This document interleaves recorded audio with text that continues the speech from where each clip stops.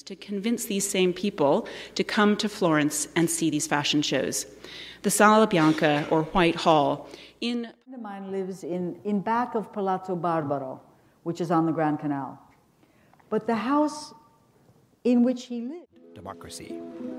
The Palazzo Pubblico, or Palace of the People, is guarded by some of San Marino's tiny security force. In their like a community, so it's really nice. The location of where the Palazzo Capponi is is one of the best in Florence.